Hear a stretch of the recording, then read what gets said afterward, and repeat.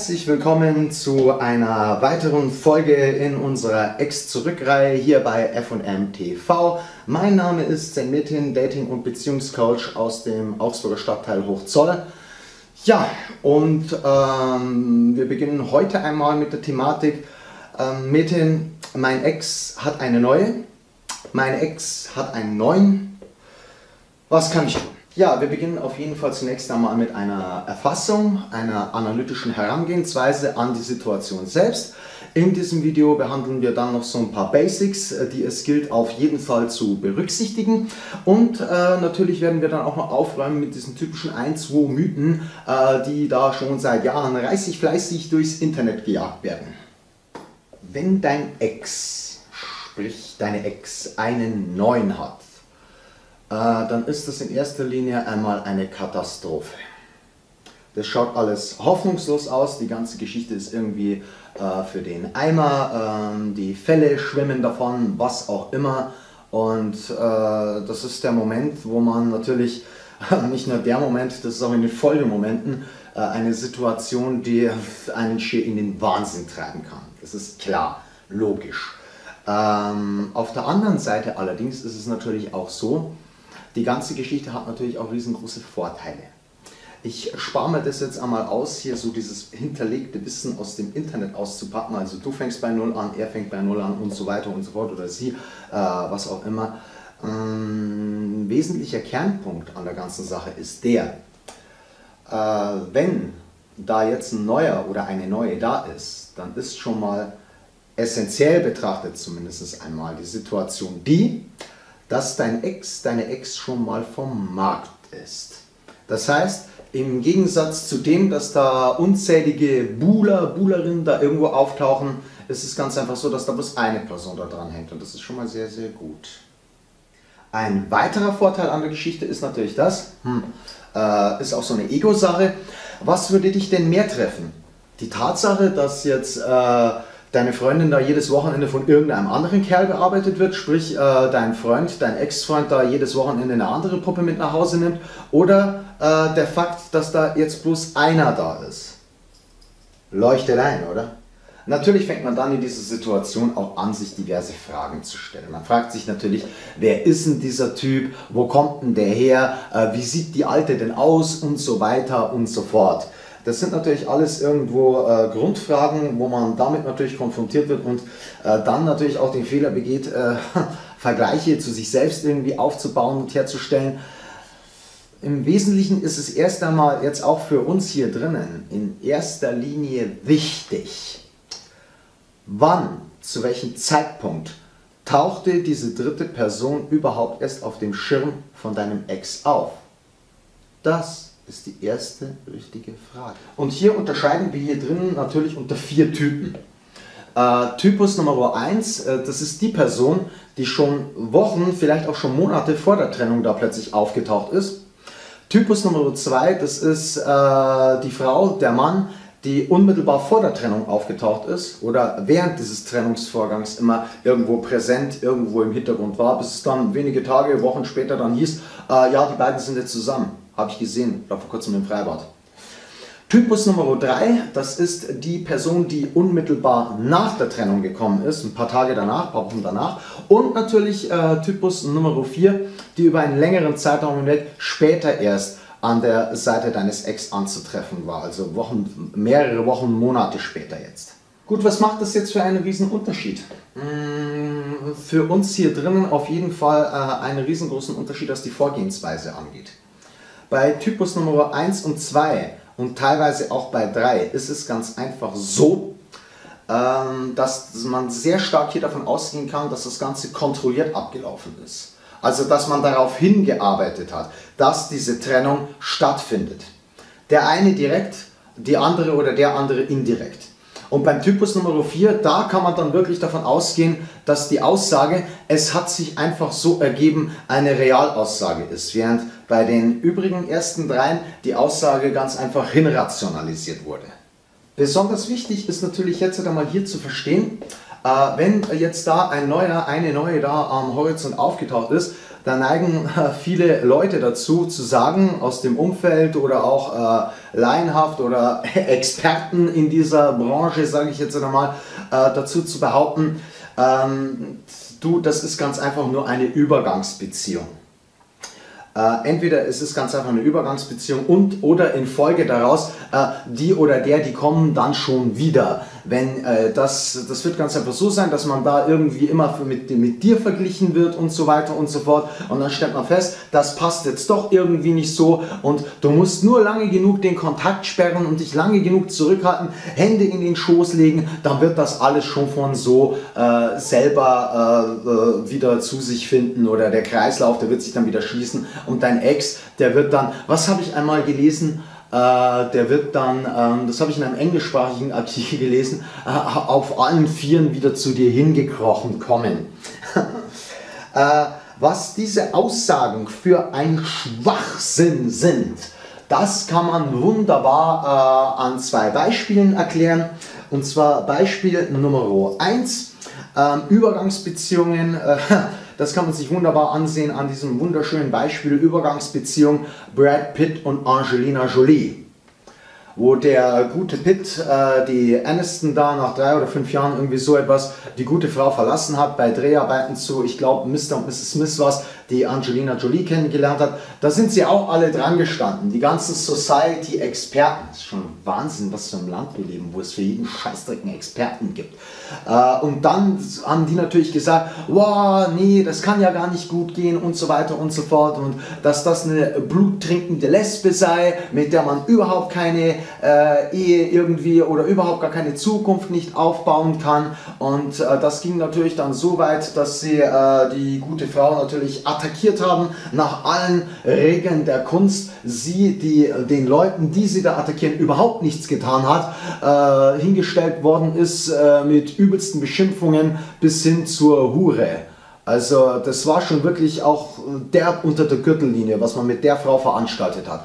Äh, siehe da, Jahre später, da sind die Society-Experten ganz, ganz leise, gelegentlich hauen sie natürlich noch die Aussage raus, die beiden hätten Eheprobleme und so weiter und so fort. Äh, von wegen, die beiden sind seit Jahren glücklich verheiratet, äh, haben Kinder und so weiter und so fort. Also so viel zum Thema Übergangsbeziehungen. Ein weiteres Beispiel, das erlebe ich auch oft äh, hier drin im Rahmen des Get Back Power Coachings.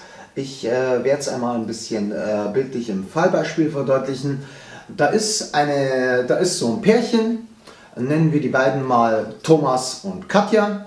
Thomas und Katja sind schon seit längerer Zeit ein Paar, ein, zwei Jahre und in den letzten Tagen, Wochen ihrer Beziehung läuft es nicht mehr so gut. Äh, die beiden äh, sind nur noch im Streit, es äh, funktioniert irgendwie nicht mehr so ganz und Katja spricht auf jeden Fall die Trennung aus. So, äh, Thomas natürlich äh, von allen Wolken und äh, versucht natürlich sein Möglichstes. Er schickt Blumen, er schreibt SMS und offenbart immer wieder seine Liebe hilft alles irgendwo nichts und dann lässt sich Thomas auf ein ganz, ganz gefährliches Spiel ein, was ihm natürlich auch immer wieder in irgendwelchen Taktiken und Strategien seitens Ex zurückgeraten wird. Ja, er begnügt sich mit einer Freundschaft zur Katja.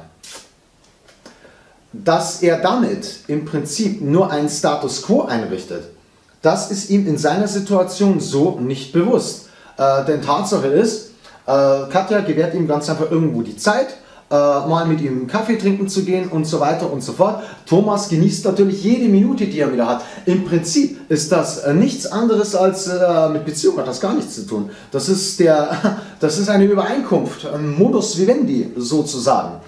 Äh, Fakt ist natürlich dann auch, es vergehen ein paar Tage, es vergehen ein paar Wochen, es vergeht der Zeit und dann lernt natürlich Katja ähm, Hakan kennen. Äh, die beiden verstehen sich sehr, sehr gut, die beiden verbringen viel Zeit miteinander, äh, die beiden kommen zusammen. Für unseren guten Thomas natürlich das Worst-Case-Szenario. Aber äh, Thomas lässt natürlich nicht locker. Äh, schlimmer noch, er macht genau das, was in der Situation fast alle Menschen in dieser Situation dann auch machen. Ganz besonders, wenn sie irgendwie im Rahmen von, ich sage mal, esoterischen Künsten oder irgendeinem äh, von diesen Hunderten von diesen Trennungsforen im Internet dann gesteuert und gestützt werden, wo man ganz einfach sagt, ja, da musst du warten, da musst du Kontakt sperren, du musst dich zurückhalten, beobachte die Situation und so weiter, weil dadurch der Glaube entsteht, dass das alles nur noch an dem Hackern liegt. Das heißt, die einstigen Beziehungsprobleme, der Trennungsgrund, der Mechanismus, der Auslöser, die Zeit danach, das alles wird jetzt nur noch auf die Person Hackern projiziert. Und das geht so weit, dass man sich wirklich manifestiert sogar, dass Katja Arme schwingend wieder zu einem zurückkommen wird, sprich zu Thomas zurückkommen wird, wenn nur mit Hackern Schluss ist. Insgeheim natürlich auch der Wunsch, äh, dass es ihr beim Hackern schlecht, dass er sie scheiße behandelt und so weiter und so fort. Gut, äh, jetzt vergeht natürlich eine Zeit. Es vergehen sechs Monate, es vergeht ein Jahr, es vergehen eineinhalb Jahre. Ja, mit der Katja und dann Hakan läuft es auch nicht mehr so. Die beiden kommen auch regelmäßig in Streit. Man versteht sich ganz einfach nicht mehr so gut und so weiter und so fort. Und auch hier spricht die Katja die Trennung aus. Äh, der Hakan als der jetzige Ex-Freund äh, der Katja probiert natürlich genau dasselbe, was sein Vorgänger auch getan hat. Auch er schreibt erst einmal Mails, auch er versucht sie irgendwie wieder zurückzugewinnen. Im Gegensatz zu unserem Freund Thomas allerdings äh, lässt er dann äh, nach einer Zeit äh, alle fünf gerade stehen und beendet dann sein Werben und sein Buhlen um sie und äh, findet sich mit der Situation dann ab. Jeder Mensch ist ganz einfach anders. Der eine sagt, okay, ich lass los, der andere sagt, nee, ich gehe zum Fighten.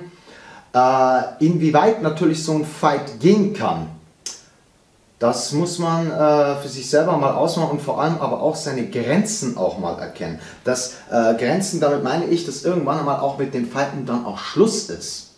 Weil nämlich in 90% der Fällen, ich wiederhole, in 90% der Fällen folgendes passiert.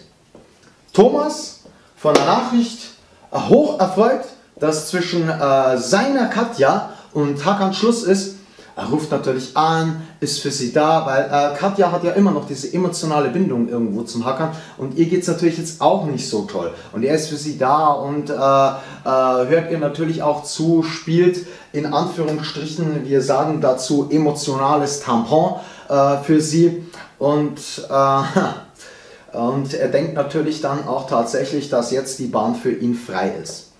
Und äh, ich sagte gerade, in 90% der Fälle passiert eben genau das, was jetzt gleich passiert. Es vergehen wieder ein paar Tage, es vergehen wieder ein paar Wochen und Katja lernt Viktor kennen. Und äh, sie verabreden sich, sie kommen super miteinander zurecht, die beiden verlieben sich ineinander. Ja, für Hakan natürlich äh, ein Schlag erst einmal ins Gesicht, dass äh, seine Ex nach kurzer Zeit wieder einen Freund hat äh, muss er natürlich seinen Weg damit finden, wie er damit klarkommt. Aber äh, jetzt seien wir mal ehrlich, wer in dieser Konstellation schaut wirklich mit dem Ofenrohr ins Gebirge? Ja, unser Thomas, ganz klar. Weil er zwei, ja, eineinhalb, zwei Jahre lang äh, von einer Vision bzw. von einem Ziel besessen war, sagen, ja, wirklich besessen war in Anführungsstrichen, äh, eine Vision im Kopf hat, äh, hatte, äh, die sich so nie abgespielt hat oder sich, sich so nie ereignen wird. Der hat also wirklich diese Vorstellung gehabt, dass der Hakan, wenn der weg ist, sie würde auf jeden Fall zu ihm zurückkommen. Natürlich auch gestützt von einem, äh, von einem Außenkreis, der natürlich gesagt hat, äh, entweder auf der einen Seite, ja, du, du musst natürlich da abwarten, Kontakt sperren, oder natürlich auch auf der anderen Seite, du musst dir das nur lange genug und gut genug wünschen und dir das nur vorstellen, dann wird das schon passieren. Dass eben das in den meisten Fällen nicht passiert, das kann man sich wunderbar an solchen Beispielen ansehen. Wenn jetzt dein Ex, sprich deine Ex, einen neuen hat, dann gilt es natürlich auch hier äh, wieder so eine Entscheidungsfrage zu treffen. Äh, siehe dazu einfach einmal Video 1 und 2. Da muss man ganz selber für sich selber mal entscheiden, ähm, greife ich da ein, greife ich da nicht ein. Das ist so eine Sache, äh, wo man für sich selber auch mal fit sein muss, weil da ähm, hat man natürlich in dem Außenbereich ganz einfach immer diese Aussagen. Äh, auf der einen Seite, da gibt es natürlich die Partei, die sagt, äh, ey, du, das kannst du nicht machen. Also äh, das, das ist einfach, du torpedierst da, äh, du torpedierst da das äh, neue Glück von deiner Ex-Freundin. Wie kannst du da im selben Atemzug auch noch behaupten, dass du sie liebst? Treffendes Argument. Da gibt es natürlich auch die andere Partei, die natürlich sagt, Moment einmal, gerade bei Typ 1 und 2, äh, wo ich vorangegangen aufgezählt habe, äh, Moment einmal, wie war es denn um die Moral von dem anderen bestellt, als er hergekommen ist und dir mehr oder weniger den Platz da äh, streitig gemacht, sprich weggenommen hat, der dafür Sorge getragen hat, dass deine Beziehung oder beziehungsweise mit dabei geholfen hat, das Grab deiner Beziehung zu schaufeln. Also wie ist es denn darum bestellt? Äh, Entscheidung muss man einfach jeder für sich selber treffen. Das ist auf jeden Fall ganz klar. Also die werde ich, dich, die werd ich dich abnehmen, die sollte dir auch kein anderer abnehmen. Das ist eine Sache, die musst du selber entscheiden. Wenn du natürlich ins Gefecht ziehst, äh, da gibt es natürlich ein paar Basics, die auf jeden Fall in, äh, in jeder Situation grundsätzlich einmal zu beachten sind. Und dabei ist es wurscht, ob, das, äh, ob der Ex ein Mann oder ob das eine Frau ist. Das behandeln wir dann in den Folgevideos dann, wo wir ein Special äh, dann im Folgevideo dann drehen, äh, worauf wir dann speziell noch zu achten haben, wenn der Ex äh, ein Mann ist oder die Ex ganz einfach eine Frau im darauffolgenden Video halt dann oder umgekehrt und natürlich auch noch einen Ableger machen werden, wo es um gleichgeschlechtliche Paare geht. Da gibt es ein paar kleine Ticken Unterschiede, was die Vorgehensweise angeht. Äh, grundsätzlich gilt, es gibt da ein paar Basics zu beachten, die kann man auf jede Situation einsetzen. Der Rest ist natürlich äh, individuell zu betrachten. Da muss man natürlich gucken, was sind das für Leute, was war das für eine Beziehung, Trennungsablauf und natürlich auch, wie ich zum Beispiel zu Beginn des Videos angedeutet habe, wann kam äh, diese Person auf den Schirm? Äh, äh, hat diese Person vielleicht ein Beispiel beim Typus Nummer 1 ist zum Beispiel manchmal so, in manchen Fällen so, dass äh, besonders wenn es eine sehr, sehr lange Laufzeit war, da taucht diese Person auf dem Schirm auf. Da kannst du mit hoher Wahrscheinlichkeit sogar Gift draufnehmen, dass diese Person, gerade wenn es ein Mann ist, Verstärkung gehabt hat. Äh, das wäre nicht der erste Mensch, der auf Google geht und äh, eintippt, wie komme ich oder wie verführe ich eine Frau, die bereits einen Freund hat erschrick bitte nicht, das wird sehr, sehr oft gegoogelt. Und wir leben mittlerweile in einer Zeit, wo äh, Flirt-Coachings, Beziehungscoachings und so weiter äh, gebucht werden wie Sand am Meer. Und äh, du bist jetzt wahrscheinlich erst über die Trennung irgendwo zum Thema Verführung und so weiter gekommen. Äh, das äh, muss noch lange nicht heißen, dass dein Nebenbuhler in Anführungsstrichen sich nicht schon viel früher mit der Thematik befasst hat und sich natürlich dementsprechend in dem Arsenal äh, ein bisschen natürlich ausgerüstet und ein bisschen nachgeholfen hat ist auch klar. Äh, Punkt Nummer eins, das ist äh, egal, Mann, Frau und so weiter und so fort, subtile Vorgehensweise. Die zieht sich gerade Anfang, Frontgame, äh, wenn man am Anfang von der ganzen Geschichte steht, bis hin zum Endgame. Immer eine subtile Vorgehensweise bewahren. Das ist A und O. Es empfiehlt sich da muss man natürlich gucken, wie die Sachlage ist. Hat man noch einen guten Draht zum Ex? Hat man den nicht mehr? Wird von dem bloß noch geblockt, gesperrt? Da muss man natürlich ein bisschen anders vorwärts gehen. Äh, es empfiehlt sich auf jeden Fall, wenn man da noch einen guten Draht zum Ex hat, dass man da in Form meist, ich mache das, ich gehe da meistens mit so einer Trojaner-Kontaktsperre rein. Äh, wo ich praktisch, sagt auch schon der Name, einen Trojaner habe, sprich eine dritte Person habe. Diese dritte Person in diesem Fall, wenn der Ex eine neue hat oder umgekehrt, muss, äh, ist Grundvoraussetzung, dass genau diese dritte Person mit dir, und das ist das, äh, das ist das Schwierige dann, mit dir eigentlich wenig zu tun hat, mit dir wenig in Verbindung gebracht wird, äh, eher als neutrale Person irgendwo eingestuft wird, äh, auf der anderen Seite auch einen Draht irgendwie zu deinem Ex-Freund natürlich da hat. Warum? Bringt uns zu Punkt Nummer 2. Ähm, es ist ganz einfach so, wenn man, äh, wenn man jetzt irgendwie den äh, neuen, die neue natürlich anfängt zu stalken, äh, dann sucht man natürlich nach Schwachstellen. Das ist ja völlig klar. Und dann geht es natürlich los. Ich erlebe das auch immer wieder in der Arbeit, wenn ich am Telefon so höre. Ich verstehe das nicht. Der Typ sieht aus wie Quark und Scheiße und ich begreife das nicht. Äh, der Kerl, das ist der stadtbekannte Playboy, bekannt dafür, dass der äh, jedes Wochenende irgendwie eine andere Frau hat. Da laufen tausende von Frauen rum. Warum musste sich der ausgerechnet meine jetzt greifen? Ähm, vergiss es. Denk an die subtile Vorgehensweise. Ich habe damals äh, in einem Video vor ein paar Jahren mal äh, zu dieser Thematik auch einen wunderschönen Satz gesagt. Kaum war das Video draußen, äh, schon hat es nicht lange gedauert, da sind die anderen gleich nachgezogen mit dieser Aussage, du darfst, dein, äh, du darfst den neuen auf jeden Fall nicht werten. Äh, nur warum? Das hat keiner gesagt. Ganz einfach, nicht werten deswegen, äh, hierzu das Video bitte ansehen, Rationalisierung bei Trennungen. Es ist scheißegal, ob der Typ äh, Drogen konsumiert, im Gefängnis gesessen ist, ob sie die stadtbekannte Dorfmatratze ist, die dein, äh, die dein Ex sowieso früher oder später betrügen wird, das ist wurscht. Weil gerade die Frauen neigen dazu, sich das äh, hin zu rationalisieren und zwar, wie sie es brauchen.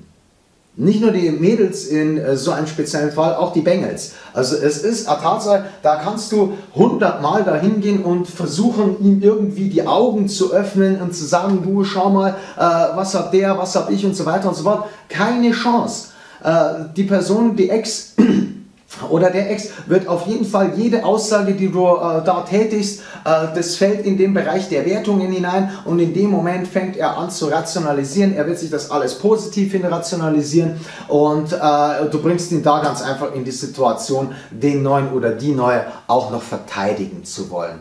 Und äh, ich glaube nicht, dass du das willst. Fakt. Gut. Äh, wichtigster Punkt natürlich auch, äh, das zählt auch in diesen Bereich hinein. Vergiss dieses, weil wir es vorher angesprochen haben, selbst wenn es scheitern würde, dass die natürlich auf allen Vieren zu dir zurückgekrochen kommt. Äh, kein Mensch auf dieser Welt will sich selbst anderen Leuten gerne gegenüber eingestehen, erst recht nicht dem Ex-Freund, dass man eigentlich im Unrecht gewesen ist mit seiner Entscheidung. Wenn die Leute das bringen, kenne ich aus meiner Arbeit, dann kommt das meistens erst äh, viel weiter nach dem Endgame, wo da die äh, erste sexuelle Intercourse wieder war, wenn alles wieder in die Bahnen kommt, äh, Friede, Freude, Eierkuchen, dass da solche Aussagen fallen, weißt du, ich habe mich damals falsch entschieden und so weiter und so fort, ich hoffe, du wirst mich vergeben. Da, aber das kannst du jetzt in der aktuellen Situation komplett vergessen. Komplett. Zurück zu der dritten Person bei der äh, Trojaner-Kontaktsperre. Was hat die jetzt damit zu tun? Ganz einfach. Ähm, wie gesagt, es geht hier um Wertungen, subtile Vorgehensweise. Es gibt Leute, glaub mir eins, die wühlen sogar im Dreck, dass sie an Informationen herankommen, die äh, den Betreffenden irgendwie, äh, womit man dem irgendwo einen Strick basteln kann. Die besten Informationen bringen nichts, wenn du sie oder irgendjemanden aus deiner Base äh, an den Ex herangetragen wird, weil dein Ex weiß, okay, diese Person hat mit dir zu tun und so weiter und so fort fängt sofort an mit Rationalisieren, ihn verteidigen und so weiter, weil diese Person, die hat was mit, mir, mit dir zu tun und da hast du keine Chance. Es muss also eine Person sein, die nichts oder beziehungsweise sehr wenig mit dir zu tun hat, die in dem Bereich neutral eingestuft wird, die diese Informationen dann an den Ex weiterträgt. Das ist schon mal klar. Die, das ist die einzige Möglichkeit, den, äh, den Ex oder die Ex da mal zum Nachdenken zu bewegen. Wenn eine komplett neutrale Person da steht und sagt, ach die, äh, du, ich will zwar jetzt nicht sagen, aber ich äh, habe nichts Gutes von der gehört. Also ich kenne euch nicht, geht mich nichts an, ist mir auch egal, aber äh, dazu muss ich sagen, mir ist zu Ohren gekommen, das und so weiter und so. Aber, aber, aber, aber, aber, aber, jetzt aufpassen, ganz wichtig. Ähm, bitte in Gottes Namen Häng irgendwelchen Leuten nicht irgendwelche Stories an. Behaupte nicht irgendetwas, was hinten und vorne nicht stimmt. Bleib bei den Tatsachen. Weil das ist nicht nur ein unfairer Kampf, äh, das ist, das kommt irgendwann früher oder später auf dich zurück. Und dann, dann glaub mir, dann bist du in einer Situation, in der du dich zuvor nicht wiederfinden wolltest. Nächster wichtiger Punkt. Äh, bringe die Situation in die Isolation. Wenn dein Ex, deine Ex Zeit jetzt gerade aktuell mit ihm oder mit ihr verbringt, dann hast du null Chance, null Chance, dass du da irgendwie rankommst, dass du irgendwie Zeit für dich ausschlägst, äh, in Form von äh, irgendwie einer Nachricht, Anruf und so weiter. Hey, lass uns doch mal zusammen Kaffee trinken gehen oder sonst irgendwas, sobald du das Wort Kaffee trinken gehen und treffen sowieso immer vermeiden musst. Immer. Äh, wir zeigen im Coaching-Programm auf, wie man das am besten macht, weil Kaffee trinken gehen und äh, können wir uns mal wieder treffen, das wird beides viel zu stark mit Date assoziiert das bleiben lassen. Man kennt das ja auch, diese großen fettgedruckten Aufschriften äh, auf irgendwelchen Zeitschriften der Boulevardpresse. Das Treffen mit dem Ex. Das ist zu negativ behaftet. Vermeidet es. Sagt nicht, hey, können wir uns nächste Woche vielleicht mal irgendwie so treffen, am besten dann noch auf einen Kaffee. Das ist, äh, ist nicht gut. vermeide Treffen gehen, vermeide Kaffee äh, trinken gehen und so weiter, so etwas in der Art. Äh, das ist äh, Bullshit auch essen gehen oder so etwas in der Richtung, mh, mm, damit kommst du nicht weit. Wichtig ist, dass du äh, versuchen musst, äh, mit allen Mitteln sozusagen, äh, mehr oder weniger den Ex in so einem isolierten Bereich zu erwischen, abzufangen, ihn mehr oder weniger mit ihm etwas gemeinsam zu veranstalten, etwas gemeinsam zu unternehmen, gemeinsam zu machen, äh, ohne dass äh, diese betreffende neue Person da irgendwo mit involviert ist oder dabei ist. Das ist auf jeden Fall sehr wichtig. Wenn du diesen Bereich äh, schon mal äh, überschritten hast, beziehungsweise wenn du auf dieser Ebene bist, dann stehen schon mal die Karten schon mal besser für dich und die Chancen, dass das wieder zu einem Rebound kommt, die haben sich definitiv dann schon mal um eine, ich sage mal, Schneeschaufelbreite erhöht. Ein weiteres Basic, was es in dieser Situation grundsätzlich zu beachten gibt, das sind die 5 W-Punkte. Ganz, ganz, ganz wichtig. Wenn die Trennung da ist, dann stehst du mit einem, beiden Beinen voll in der Gesprächsleiste in eurem Umfeld drinnen. Die Leute reden über euch. Die Leute haben ein neues Thema. Hey, äh, äh, Thomas und Katja, die haben sich jetzt getrennt und so weiter. Hast du schon gehört? Ach echt, wieso ein Jahr? Sie hat mittlerweile einen neuen und so weiter. Äh, die Leute, die reden. Die reden, die reden, die reden. Sie reden nicht vor dir, sie reden nicht vor ihr, aber sie reden untereinander. Und äh, beim Reden äh, tauscht man natürlich auch gerne Messages aus, Stories aus und äh, letzten Endes werden dich irgendwelche Hiobsbotschafter erreichen und natürlich auch sie.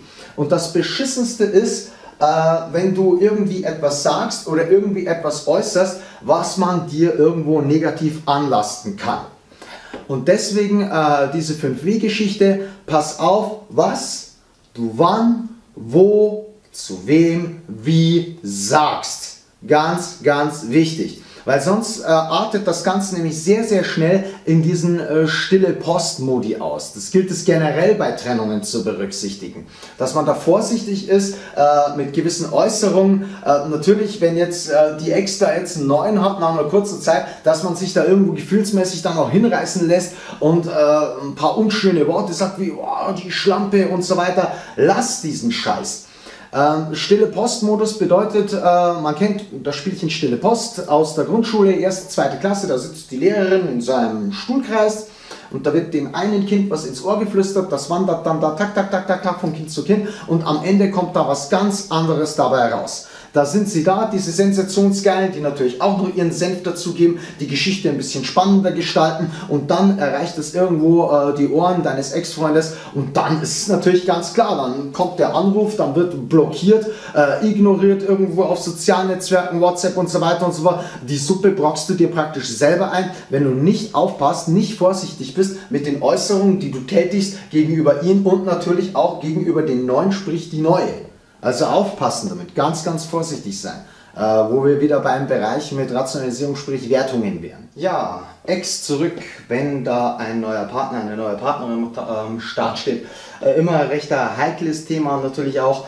Ähm, es muss letzten Endes, äh, muss das jeder für sich selber entscheiden. Das ist auf jeden Fall ganz wichtig. Ich habe es am Anfang dieses Videos schon erläutert.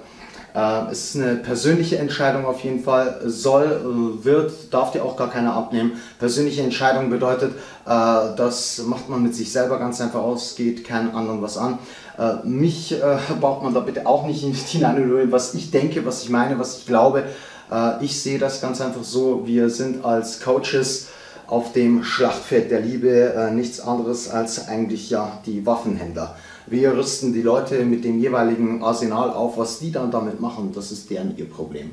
Das gilt es auf jeden Fall immer ganz wichtig zu verstehen, dass man das äh, mit sich selber ganz einfach ausmacht, inwieweit das für einen moralisch vertretbar ist oder inwieweit man ganz einfach sagt, äh, pff, äh, jetzt erst recht ähm, nicht auf jeden Fall diesen äh, Dogmen, diesen Vorschriften verfallen, ja, hier hast du jetzt so deine Strategie und jetzt musst du ganz einfach Kontakt sperren und einfach darauf warten, äh, bis dein Ex äh, von alleine wieder zurückkommt. Was das für ein Schwachsinn ist, habe ich eben schon an diesen beiden Beispielen heute in diesem Video erzählt. Und gesetzt den Fall, es sollte tatsächlich so sein, dass dein Ex da wieder zu dir zurückgewackelt kommt nach drei, vier, fünf, sechs Monaten, dann bist ja du auch bloß wieder eine Option.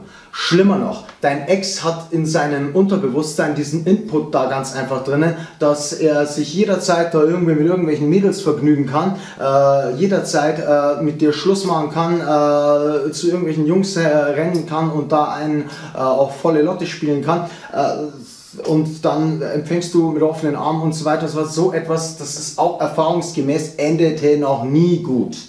Und äh, da äh, definitiv nicht an äh, irgendwelchen äh, Dogmen oder beziehungsweise an so festgelegten Vorsch Vorschriften da handeln. Äh, ich möchte äh, abschließend an dieser Stelle gerne dazu Camouflage zitieren aus den 80er Jahren in The Great Commandment.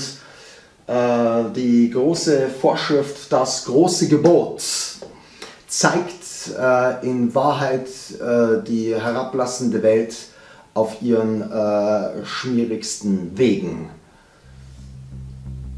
Sollte man zwischen den Zeilen lesen und auch einmal so ein bisschen darüber nachdenken. Das trifft den Nagel hier auf den Kopf. In diesem Sinne.